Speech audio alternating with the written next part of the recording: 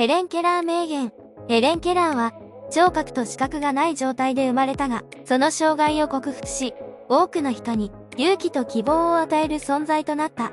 彼女の生涯には、多くの名言が残されており、今でも多くの人から支持されている。その中でも有名な名言をいくつか紹介したい。障害を乗り越えることができないと思った時こそ、本当に乗り越えられる限界に近づいている。この言葉には、自分の限界に挑戦することの大切さが込められている。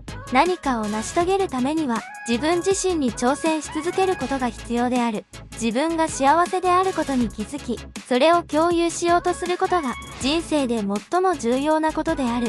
この言葉は、人生の本質を語っている。自分が幸せであることを共有することで、他の人にも幸せを与えることができる。障害は人間の想像力によって克服することができる。この言葉には人間の能力の素晴らしさが込められている。困難な状況に陥った時、自分自身の想像力を駆使することで、その状況を打開することができる。